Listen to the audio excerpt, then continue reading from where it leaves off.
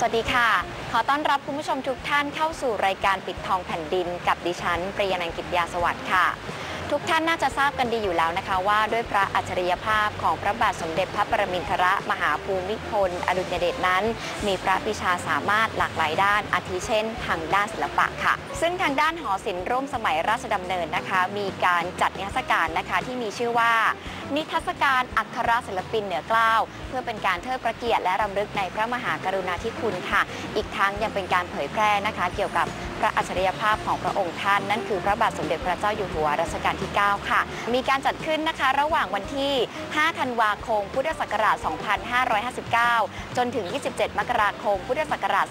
2560 ค่ะ ส่วนบรรยากาศนั้นจะเป็นอย่างไรไปติดตามกันค่ะ